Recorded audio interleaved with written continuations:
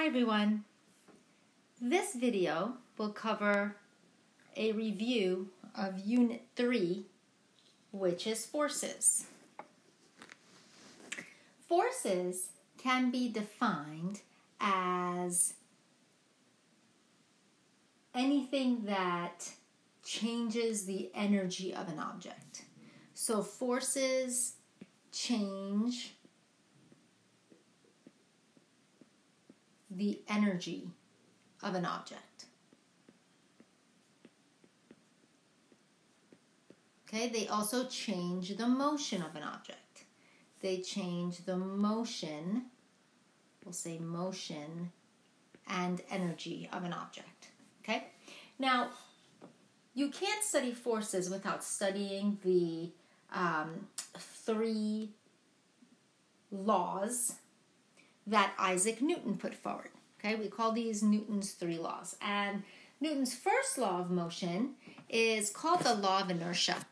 And it basically states, and you've heard this expression before, that objects at rest tend to stay at rest.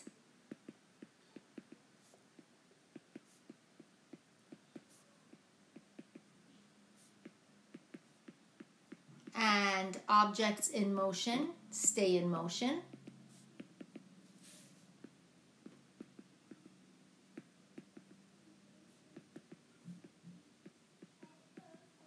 And maybe you haven't heard about this part. This is the more advanced part. Unless acted upon by an unbalanced force.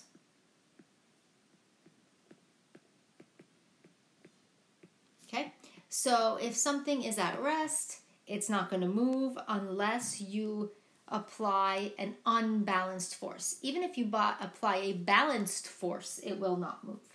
For example, if I have a box on a surface, on a table, whatever, and I apply two forces, one in this direction, three newtons, with a strength of three newtons, and one in the opposite direction with a strength of three newtons. These are balanced forces. The box will not move. Um, if I exert a second force to the right of 2 newtons, then my overall force here is 2 newtons to the right. The box will move to the right. Okay, so that's what we mean by unbalanced forces. So that is also called the law of inertia. Uh, the same thing is true for motion. If something is moving, the only way you can change its motion is to apply an unbalanced force. So you might be thinking to yourself, wait a minute, what about a ball? A ball that's rolling on a surface, here's the surface, here's the ball, and it's sort of just rolling in this direction.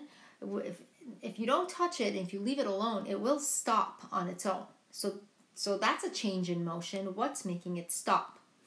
The thing that's making it stop is a force um, that's being exerted by the surface onto the ball um, as it makes contact with the surface, and that's called frictional force. Friction is a type of force that acts in the opposite direction of something that's moving. Okay, it's always in the opposite direction of, mo- of movement. Okay, Newton's second law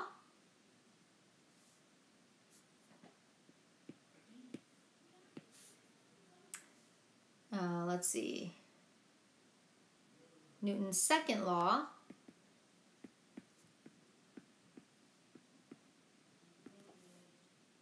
is uh, the relationship between mass and acceleration. And it basically says that force, F force, is equal to the mass of an object times the acceleration of that object. Okay? Um, now, when we're talking about this force here, we're talking about the net force. And by net force, I mean the sum of all forces. And when you sum up forces, you have to take their direction into consideration. If we go back and look at the example from above, box on a surface, you have a 3 Newton force this way and a 3 Newton force this way, the net force on this is zero, right? Net force is zero because the direction of the force has to be taken into account. So if two forces are in opposite directions, they will subtract. And if they're in the same direction, they will add.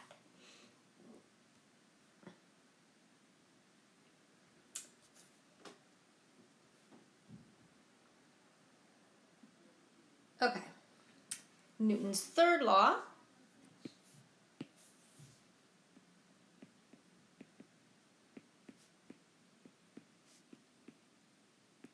Newton's third law is the um, action reaction. We call this the action reaction law. And you've heard this expression before, I'm sure, as well. Uh, and it says that for every action,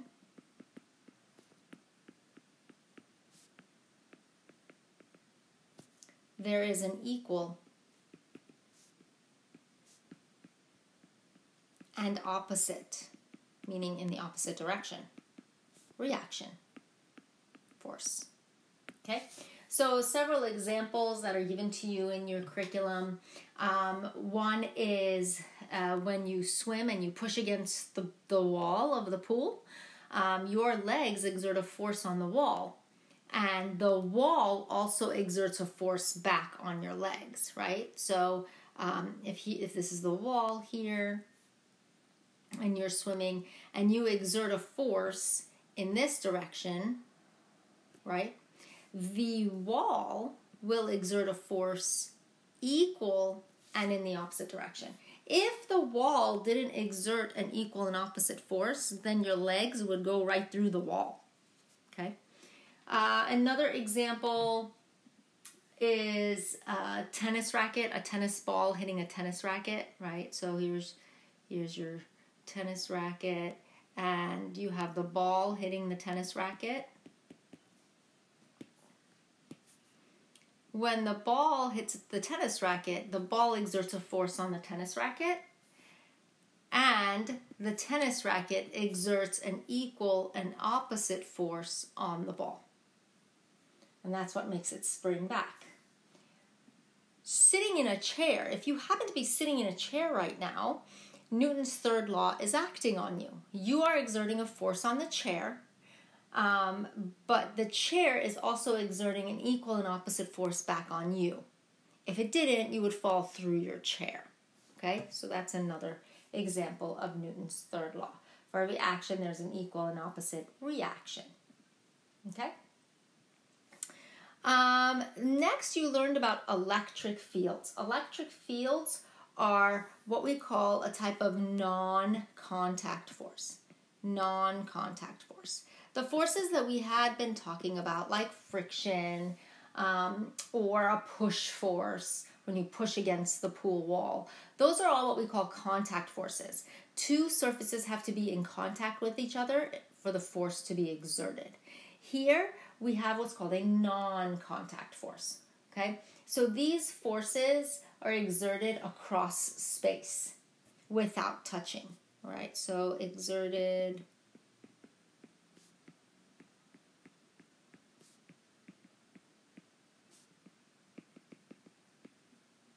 Without touching.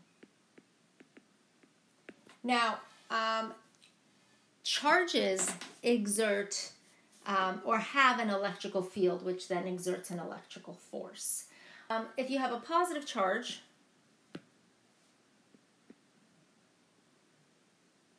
the electric field lines will point away from the positive charge. Electric field lines always point away from positive charges. If you have a negative charge, the electric field lines will always point towards the negative charge electric field lines will point towards the negative charge. Now, if you have charges kind of in proximity to each other, near each other, they will exert a force. Okay, so for example, if I have this positive and negative charge near each other, um, I will notice that the electric field lines come out. And let's say I have it near a negative charge they come out of the positive charge and then they go in to the negative charge. Okay? So there is a force of attraction. There's a force of attraction between the positive and negative charge. That is an electrical force. Okay, that's an electric force. Um, this so this would be electric force of attraction. Now, if I had two of the same charges, if I had two like charges, for example, if I had two positive charges near each other, what I would see is electric field lines going out of both of the charges, but I would also see that the electric field lines want to move away from the other charge. So you'll notice that right here in the middle, you have no electric field, okay? Because there is a repelling force. So this is an electric force of repulsion. Repulsion. Um, all like charges will experience this force, a force of repulsion, and all um, opposite charges will experience a force of attraction. Okay?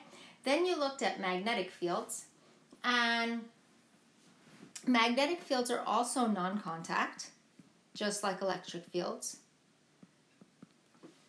And they are closely related to electric forces. Okay? They exhibit attraction and repulsion just like the electric charges that we looked at, except this time we're looking at the poles of a magnet. Okay, if I had a magnet that had a north end and a south end. I would have magnetic field lines going into the south end and out of the north end. Okay, so magnetic field lines come out of the north end and go into the south end.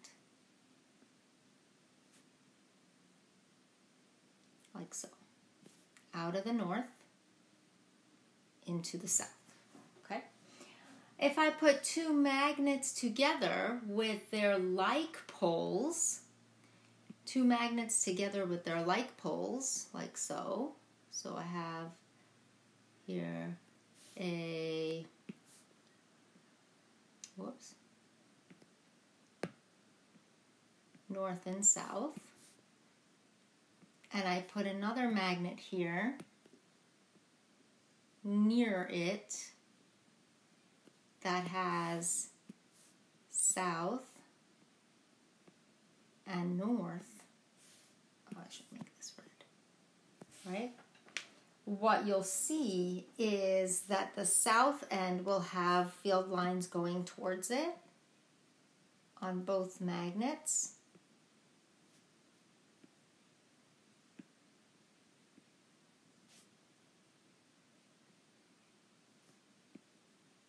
And what you'll notice is there will be no field right here in the middle. Okay? So these this is a magnetic force of repulsion. Magnetic force of repulsion. Um, if I were to re- inverse one of those magnets and put them north to south, so if I had a magnet that had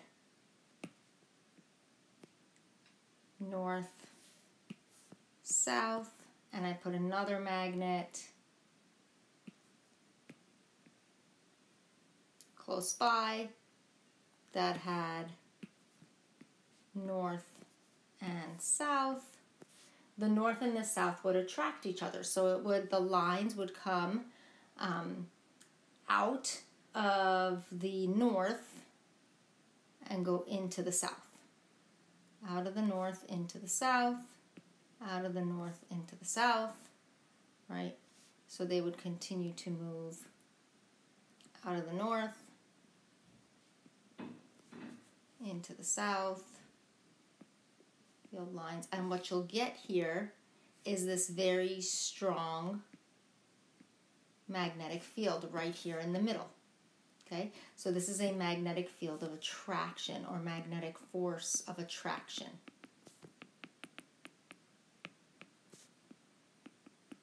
So those are different kinds of non-contact forces.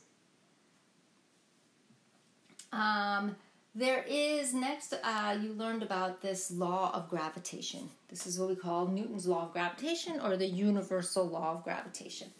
Um, gravity is also another non contact force. So, gravity is a non contact force.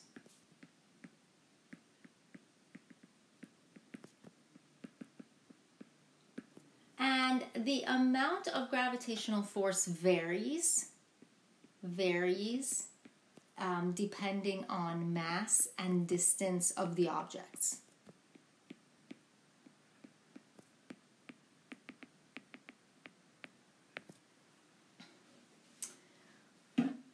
Um, so this universal law of gravitation determines how much force exists between two objects. Okay, determines how much force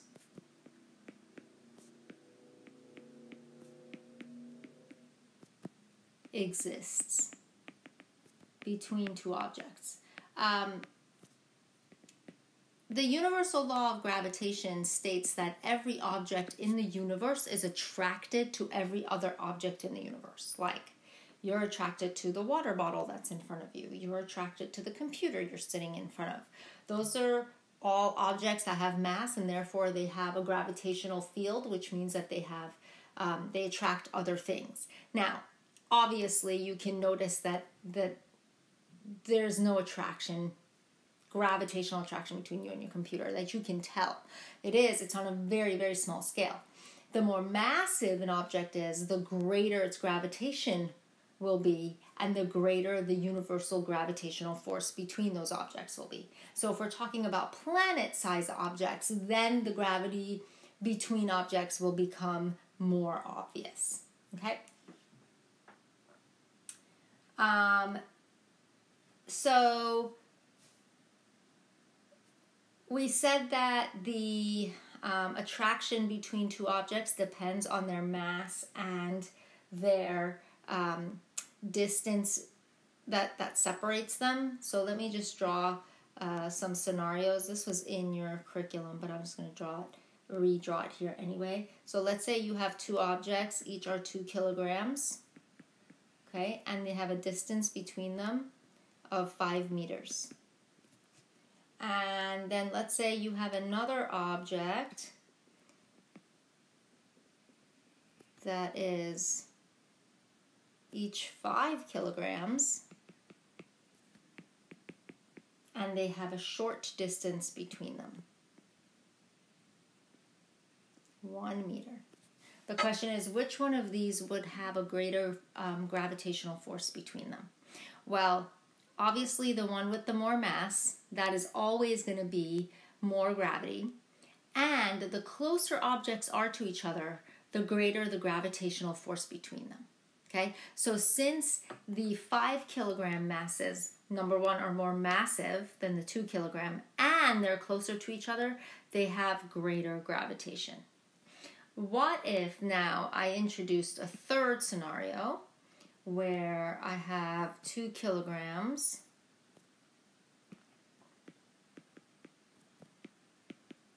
and I had these at one meter apart. So if we were to rank these from highest to lowest force of gravity, this would have, the five kilogram would have the highest gravity between it, okay? Then this would be the second highest because they are closer than the five meter apart, and this would be last. So this would have the least amount of um, gravitational force between them. Okay, so that's universal gravitation.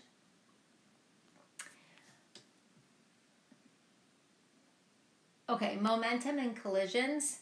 So here are some things you learned about momentum. Momentum has the equation P equals mv, mass times velocity. That's how you find the momentum of an object. You multiply the mass by its velocity. Um, direction does matter. So uh, when you get into, for example, conservation of momentum, conservation of momentum, just like um, matter and energy, momentum has to be conserved. Conservation of momentum says that your initial momentum, P initial, your initial momentum, has to equal your final momentum. Okay?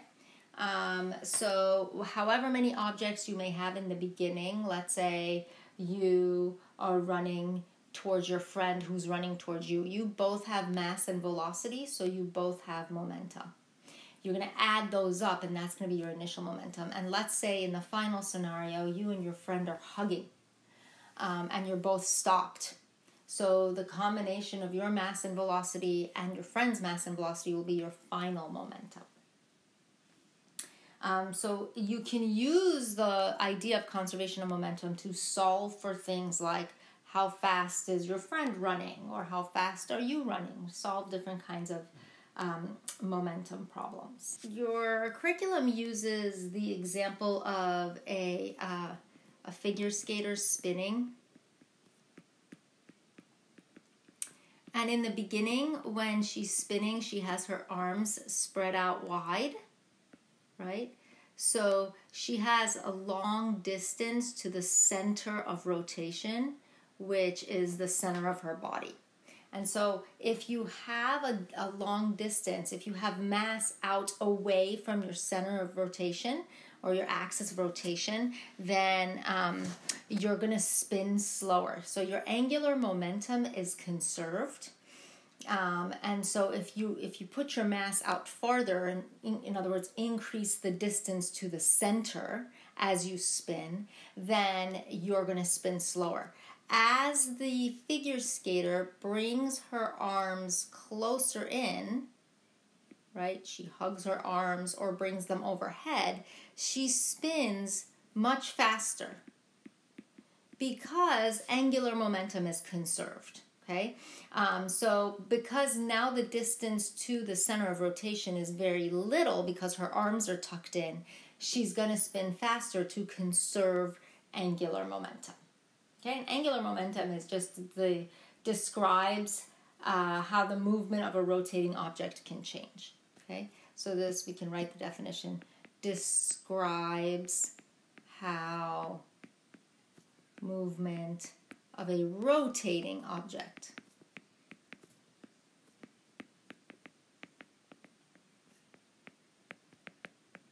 can change. Okay. Um, I'll go back to this momentum and collisions. You got to practice the calculations for these. Okay, practice doing problems here. Um, and then if you have trouble or if you get stuck, you can always log into my Zoom office hours. Just email me first and let me know, and then you can always log in and, and we can work through a couple of problems together. Okay?